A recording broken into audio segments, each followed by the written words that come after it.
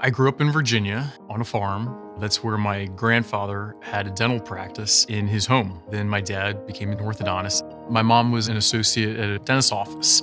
Our family vacation was going to orthodontic conferences, playing with the sons and daughters of orthodontists. I thought everyone's parent was an orthodontist. I always wanted to be a little bit different. So I took an unusual path in dental school. I did a DMD and a PhD together. I've always loved wearing many hats. When I was assisting my dad, I would watch him bend a lot of wire and reposition a lot of brackets. I would always ask him, you know, Dad, all you do is bend wire all day. And he would explain it to me that I'm trying to accommodate for a one size fits all bracket and a very unique set of teeth and jaw relationships. That instilled in me from the beginning that there's a value to customization in orthodontic treatment and that no two patients are alike.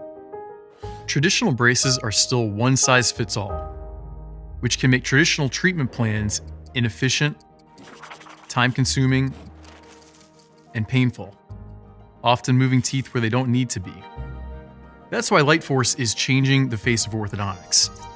Our digital platform empowers orthodontists with 3D tooth movement tools that offer unmatched customization and precision.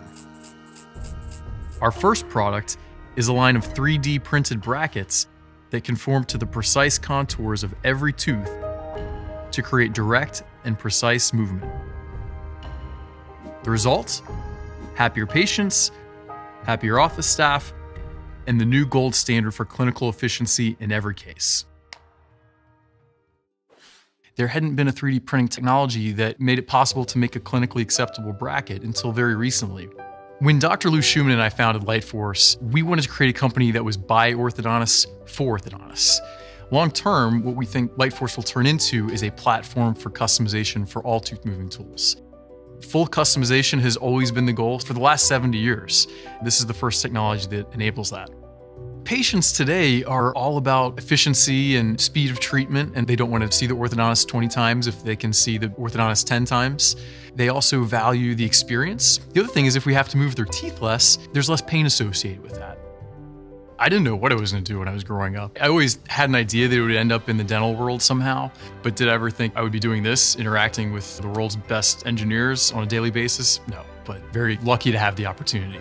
And I still get to practice and have that patient interaction, which I couldn't do without. When people think about Lightforce, I want them to think that this is the best company at listening to orthodontists and making their ideas come to life. We're not telling orthodontists how to use this system. We're asking orthodontists what's possible and then welcoming them into the journey with us.